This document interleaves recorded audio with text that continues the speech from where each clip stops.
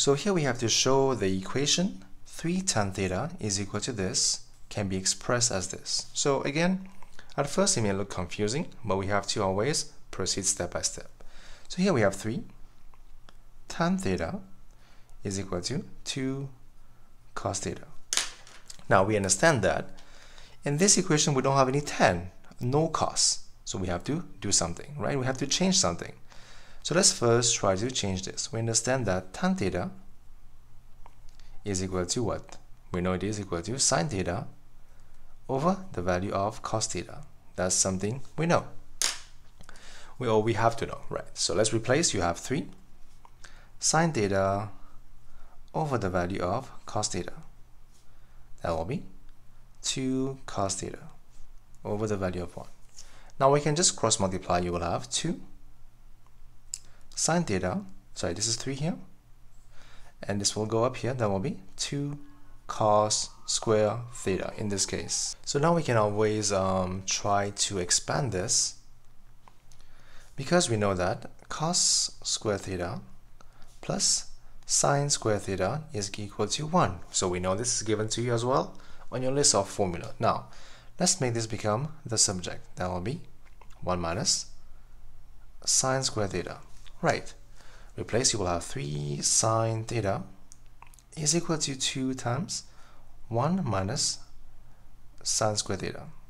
Right, so you have 3 sine theta is equal to 2 minus 2 sine square theta.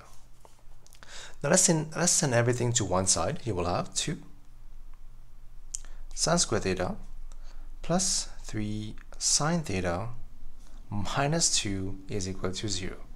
Aha, so now this is exactly what we are trying to find and this is shown as required. Okay, that is part one of the question solved for you, shown as we need to show. Now for part two, we have to hence, hence means we have to use part one, solve the equation this, between the values of theta is between 0 and 360. So pretty easy. Now, we have to solve part 2, right? It is 3 tan theta is equal to 2 cos theta. Now we understand that from the first part, this is also equal to 2 sine square theta plus 3 sine theta minus 2. That will be the value of 0. Now as you can see, clearly it will be a quadratic equation. However, if you guys have some issues working with sine square and stuff, you can always let u equal to sine theta for now. So you will have 2 u square plus 3u minus 2 equal to 0. Now it is much simpler to look at. Now again we have to factorize and try to solve this quadratic equation. That will be 2u times u for 2u square. And here we have 2 so 2 is 2 times 1. Let's put 2 here and 1 here. Now, because we're trying to find the value of plus 3, plus 3, right, we have to have plus 4 and then minus 1.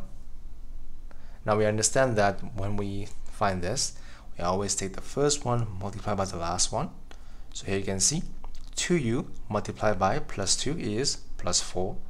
And then take this one multiplied by this one. So plus 4 minus 1 that should be plus 3 which is good. Now check minus times plus has to be minus so here we have minus so it is good factorization.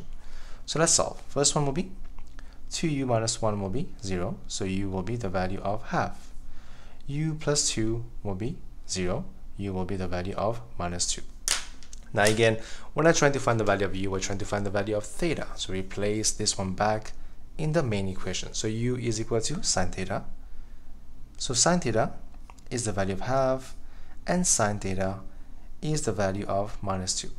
Now this will be invalid because we understand that or we have to know that sine theta is always going to be between the value of minus 1 and 1. So let's make a note of this so you guys know this as well. Sine theta is always going to be between the values of minus 1 and 1. Okay, that is something we have to know because of this. Or you can just try, hey, um, so sine theta is minus 2, so sine inverse of minus 2 should be what? Bam, error, so it's not possible. Okay, so let's do this one. Now as you can see, sine theta is positive, which is plus half. It should be what? It should be, as we know, we use the quadrants here. That will be A, S, T, C. It should be in the first quadrant and in the second quadrant because it is A here and S here. So this is just the angle directly. And this will be 180 minus the angle. So theta here will be what? Sine inverse of half. Sine inverse of half. That will be. Here we have to use degrees. That will be 30. This is the first angle here. We also have to find this one. That will be 180 minus 30. That should be 150 as your answer.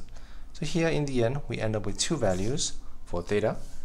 Theta will be 30 or 150 as your final value for this equation to be true. And this is a question involving trigonometry.